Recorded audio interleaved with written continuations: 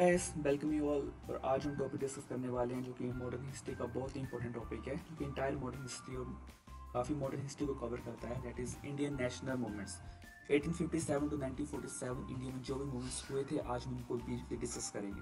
तो let's go to topic Indian national movements the first one is 1857 revolt As the British rule in India was strongest between 1858 and 1905 1857 revolt was also called a Sepoy Mutiny by Britishers and by Indian historians it was called the first part of Indian independence. 1857 revolt was unsuccessful but with this revolt the effort to eliminate foreign powers in India has begun. Although British successfully suppressed 1857 revolt, they couldn't stop the formation or growth of political awareness in India. So that was the reason, reason for foundation of INC, Indian National Congress, were founded in December 1885 by an Englishman, Dr. Octave Hume, who was a retired member of Indian Civil Services. The first president of INC was W.C. Banerjee. Partition of Bengal 1989. On December 13, 1989, Lord Curzon took over the new Viceroy of India.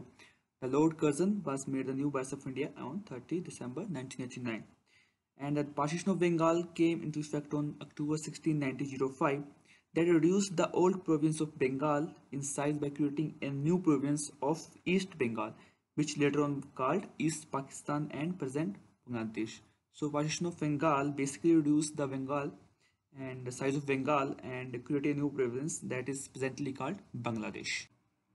The next was the Muslim League 1906 as All India Muslim League was set up under the leadership of Aga Khan. This league basically supported the partition of Bengal and uh, opposed the Swadeshi movement. Also, they demanded a special safeguard of Muslims and separate electorate of electorate for Muslims. This basically, this league basically led to formation of communal difference between Hindu and Muslims. The next was Swadeshi movement 1905 Swadeshi movement this is an anti-partition movement which was started to oppose the British decision to divide Bengal. With the start of Swadeshi movement, the Indian national movement took a major leap forward. After that, Morley Minto Reform 1909 that was introduced in 1909 during the period when Lord Minto was Governor General of India. The reform investigates a separate electorate for Muslims beside other constitutional measures. So the government tried to create a rift within Congress and also gaining the favor of Muslims against Hindus. Next was Lucknow Pact 1916. An important step forward in achievement Hindu-Muslim unity was the Lucknow Pact 1916. As we know, during the war between British and Turkey, the anti-British feeling generated among the Muslims that led or opened a way for Congress and Muslim League unity. Home Rule Movement 1915-1916 Dr. Annie Besant, who was inspired by the Irish Rebellion, started a Home Rule movement in India. That is in 1960, September 1916. Okay, The movement spread rapidly and branches of the Home Rule League were established all over the India. The period from 1918 to 1947 in Indian history is regarded as the Gandhian era because the Gandhian dominated the Indian political scene from 1914 until 1947. Gandhi provided the leadership and his philosophy of non-violent satyagraha became the most potent way to drive out British from the India. This was the Gandhian era that is uh, period from 1918 to 1940. Next was Caliphate movement 1920. The Caliph who was Sultan of Turkey was looked upon by the Muslims as their religious head.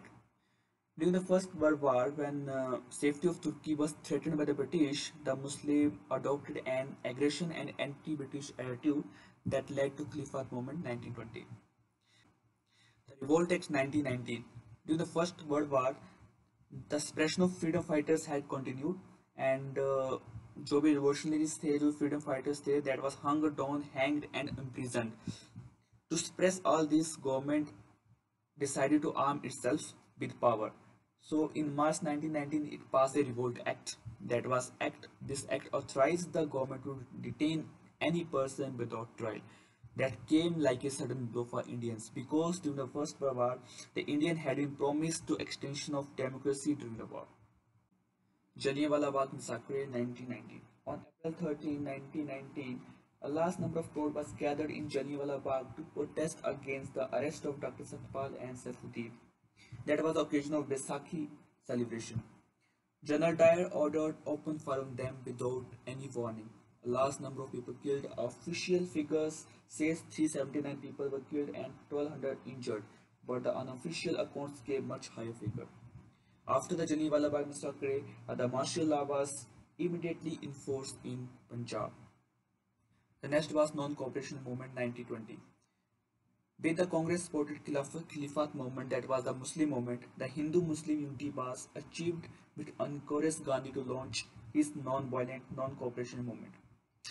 At the Calcutta session in 1920, that is uh, September 1920, Congress resolved in favor of non-violent non-cooperation movement and defined Swaraj as its ultimate aim. Next is Chora Chori incident 1922. Before Gandhi could launch a civil disobedient movement, a mob of countrymen, that is in Chora Chori, that is a place near Gorakhpur in UP, they clashed with police and opened fire. In retaliation, the mob won the police station and killed 22 persons. So this compelled Gandhiji to call off the civil disobedient movement on February 12, 1922. The next is Swaraj Party. Gandhiji's decision to call off the agitation caused frustration among many people uh, um, like uh, Motilal Nehru, C.R. Das and N.C. Kelkar and they organized the Swaraj Party, uh, a separate party uh, and the formation of Swaraj Party was laid on Jan 1st 1923 as the Congress Khilafat Swaraj Party. Next is Simon Commission 1927. Under the 1919 Act, commission was to appoint it by the British government at the end of 10 years okay? From the passing of act that is 1919 to inquire into the working of the system of government in country and to recommend further reforms. Thus as per the act the commission was to be rescheduled to appoint in 1929 but actually it come in actually it comes two years earlier in 1927 the commission consists of seven members of british parliament and it was headed by sir john simon that was Simon Commission 1927. The next is Dandi March 1930.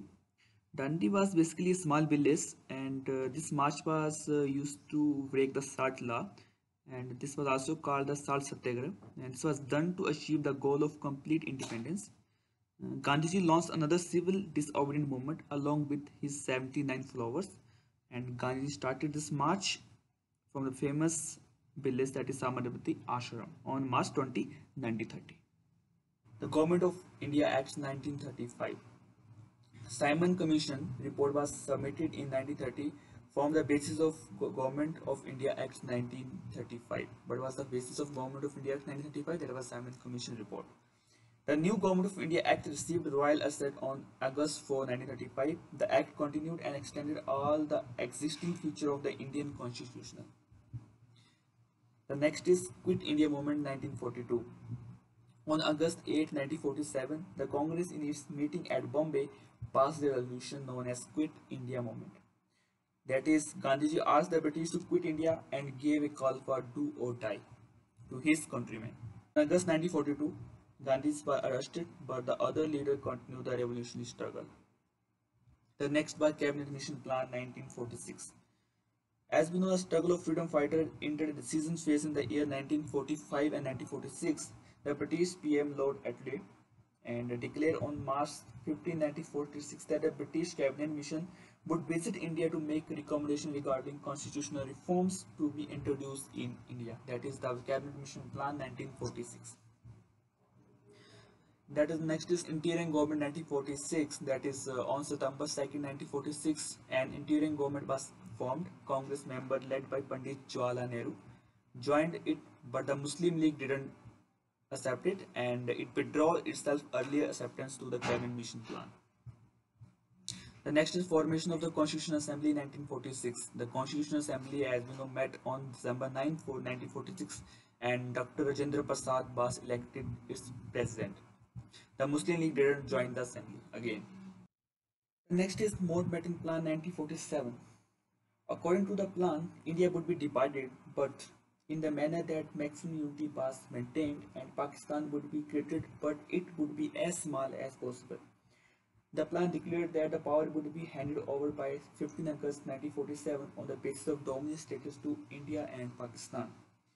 The plan laid down the procedure by which power will be transferred. Is the Indian Independence Act 1947 and Partition of India. Um, according with the Indian Independence Act 1947, India was partitioned on August 15, 1947 into India and Pakistan. The act made India and Pakistan independent dominions. Lord Mountbatten was appointed as the Governor General of Free India and M.A. Jinnah was the first Governor General of Pakistan. This was all about Indian national movements that happened between 1857 to 1947 and in the next videos I will go briefly I will go detail in each of the topic. So thanks for watching and if you